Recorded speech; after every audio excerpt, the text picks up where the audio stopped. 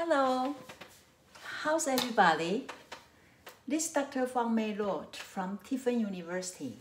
Welcome to the intro to a social psychology class. This class mainly is for uh, Tiffin University students. They are taking my class, Psy 250, Social Psychology. Okay, um, because right now it's coronavirus, so we are not able to do face-to-face uh, lecture. That's why I'm making this video. But if you are not my student, I welcome you as well. Welcome to come to our social psychology world. Okay, actually, a lot of my students uh, in the class they say, well, social psychology should be for everybody, right? Because we all need to learn about uh, how people thinking, how do we change our attitude, you know, how do we behave the way we behave, right? So uh, hopefully you find this video is helpful. Now this is actually is a part five of my uh, lecture about attitude and attitude change. So this should be the last part of this topic. Okay, now well, we need to talk about attitude. And what is attitude anyway? Well, attitude actually is evaluation to things, to idea, to whatever you see the world. Okay, we will, we know we are not a neutral observer. When we see the things, we will give you evaluation and we will have some attitude about it, right? And also the attitude can be a factor determine who what are you going to do for certain days right? So in my last lecture i talk about um, for example coronavirus how do we prevent it right? Like i'm from taiwan. So uh, in taiwan the president the uh, administrator they believe mask wear mask is one of the way. So the whole country they ever they uh, emphasize wear mask. Okay. On another hand, uh, in this American and also your country, people still have a trouble to accept uh, wear mask if you are not sick, right? Well, attitude is not no right or wrong. It's just people have different way of thinking, right? And so we say actually have a three part of your attitude your affective, uh, affectively, that's your mindset, your, your emotion part, your cognitive, that's your mindset, and then your behavior. Okay, so those three attitude um, that we have, we have that, right? And so actually when you want to change people's mind, you need to know like which part of attitude they come from, right? So if you want people to to fall in love with uh, uh, drinking Coca-Cola, right? Then you may want to put a party as your advertisement, right? So people will go from, hey, yeah, if I party, let me drink, let me buy some Coke or same as pizza, right? But if you want to change people's mind about something about their thinking cognitively, then you may need to bring the speaker, give the speech, and change their thinking, right? So you need to know which part of attitude they are coming from. Then you will do the, the way that match with their attitude, the base of their attitude. So you maybe you can change their mind, right? Okay, we also talk about attitude can be you aware that or you don't aware that. If you aware that, that's called explicit attitude. That means you consciously you know what happened, right? And but you also part you don't really know you have an attitude, and we call implicit attitude. Okay. Then we also mention about um, when we uh, want to change people's attitude, uh, you may not want to give the severe punishment or reinforcement. You may want to do the moderate because if you do moderate, they won't able to find the good external justification. So they will have to find their internal justification and they will eventually change their mind. Okay, so that is something we cover from our previous lecture. Okay, if you are interested and you don't have chance to watch that video yet, you welcome to go back to the part. Okay, so now we are talking about the power of advertising. Okay, so I'll give you a few seconds look at this this PowerPoint.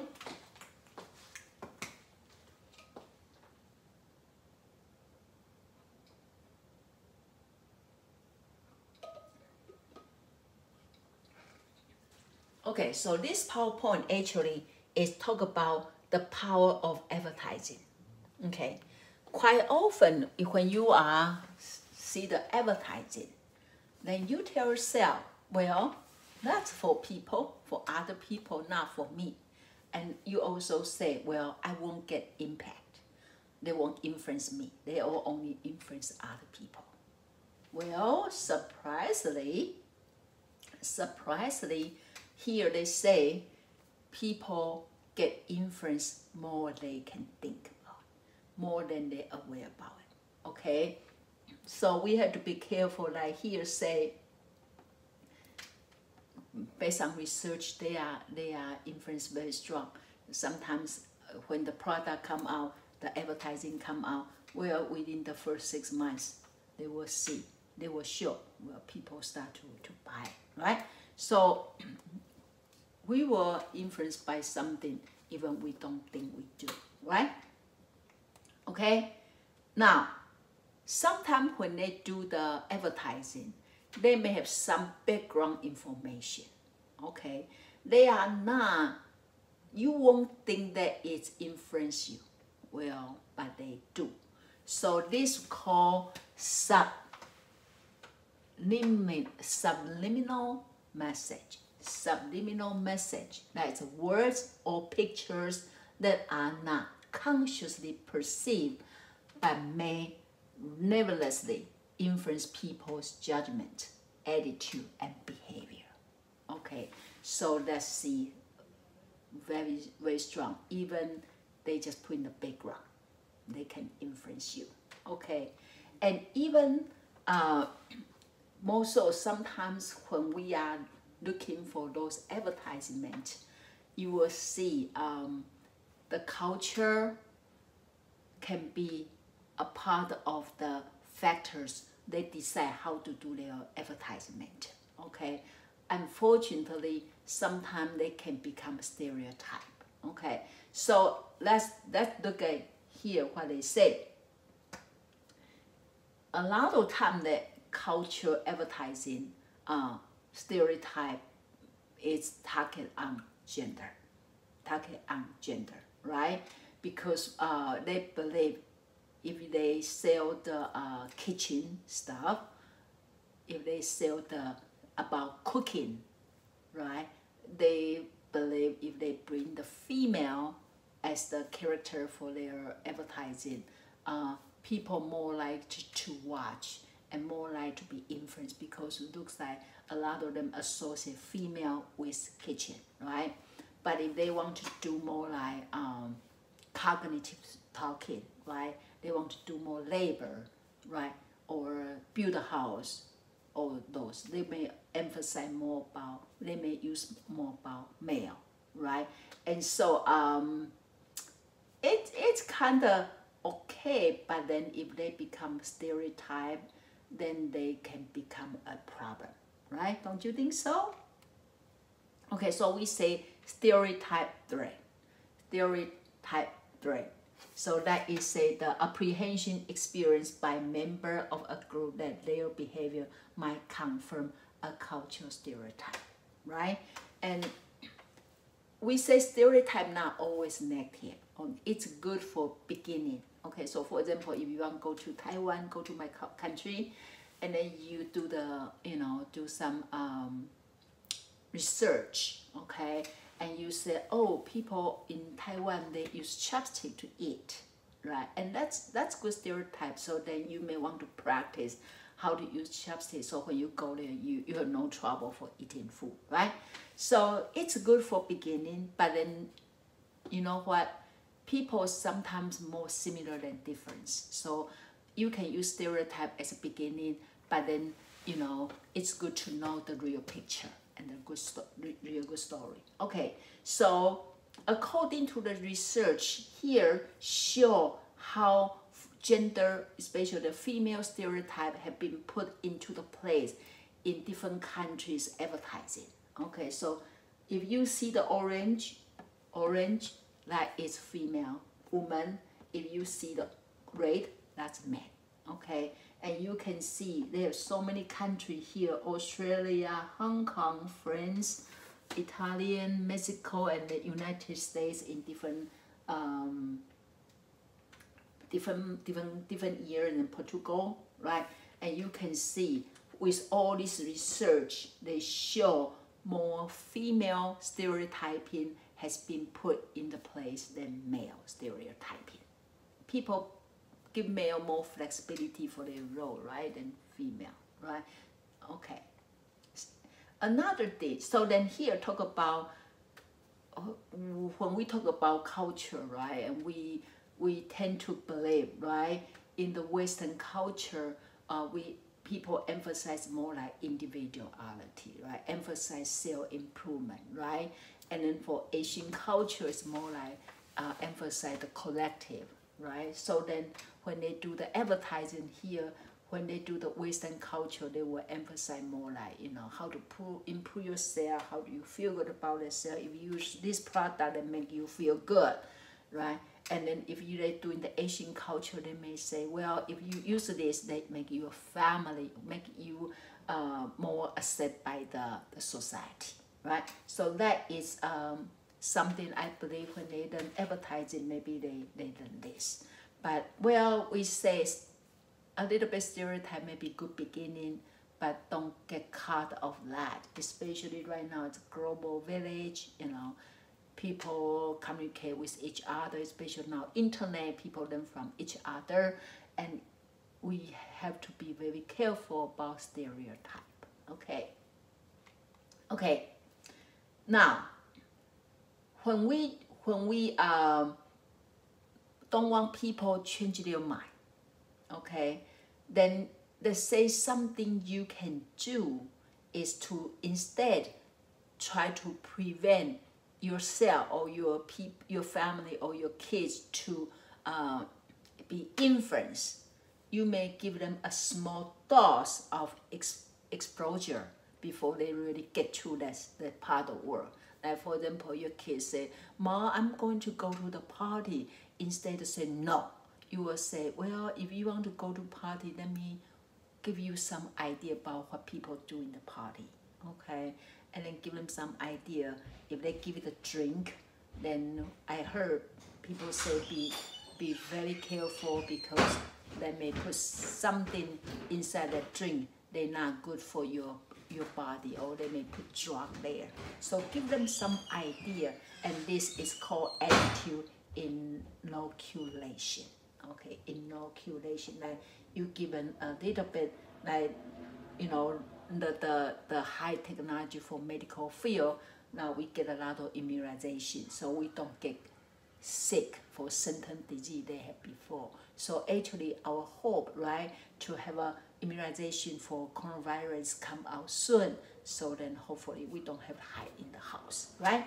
Okay, so this called attitude in, in inoculation.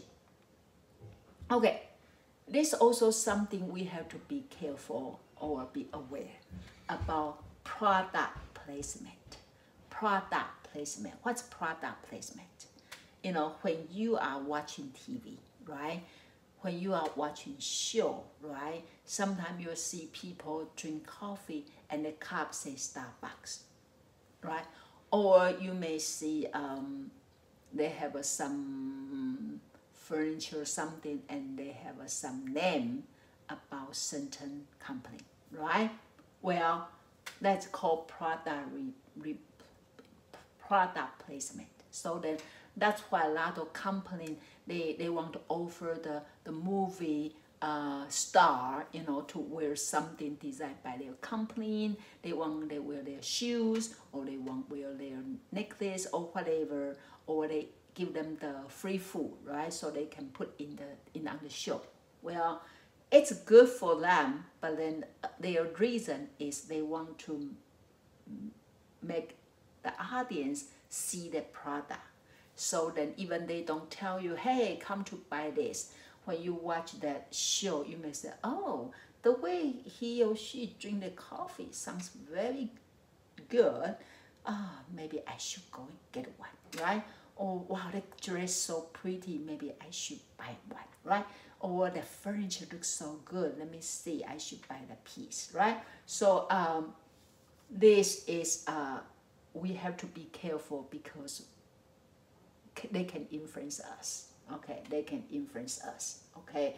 And actually they, they say, you know, it's, it's very strong influence as well. Okay, so how do we resist that? Okay, resist the uh, persuasive message. Well, here say you just need to be aware that. You just need to be aware that. Okay, you be aware that so then you be careful. For example, when I went to buy the car, you know, usually you, you get the deal with, with salesman and then the next step you have to go in to talk to the uh, people sit inside the office and they will start to tell you you know you should buy this warranty buy this warranty and this buy warranty and this. And then together wow when you come out you find that your price is much higher than before you walk it right? And it's very interesting. One time i went to buy the car and i told the salesman say I don't want to go in. If I go in, I think they will start to sell me a lot of stuff. And my salesman said, well, just say no for everything, right? And he's right. Actually, with his warning, I'm kind of careful, but I still buy, I still get persuaded for some. But at least I, I get idea, and then I be more careful when I say yes for something, right? So that is a, uh, the idea here. Say a lot of time we have we pay little attention okay for the message. Actually try to change our mind. So if you be very careful then hopefully the result is better right? Okay now something worry a lot of parents especially have a teenager kids it's about peer pressure. Peer pressure right? They are even more so for the adolescents right? And actually they say the reason adolescents they are very more vulnerable for peer pressure because that is important source of social approval. Okay, so for example, they want they say, hey, you should get this drink. If they so they don't drink, they say, well, you are chicken, you are chicken, you are chicken, right? So if you are the um, if, so it's important for as a parent if you're a teenager kids to know why they get that way, right? So you maybe want to just be their friend. Don't just be their parents all the time. Sometimes you can be their friend. Maybe they more likely learn or hear what you try to say, right? But that is it's very uh, important stage for that for the people in that they want to get approval. Okay, they want to get approval. That's why they do this, right? So it's important at home you give them enough uh, I identify them and recognize their effort so they feel that they have been recognized from home. They don't have to always go out to get approval from other people. That's just my two cents. Hopefully it's helpful. Okay, but anyway, here say, how do we help them to resist peer pressure?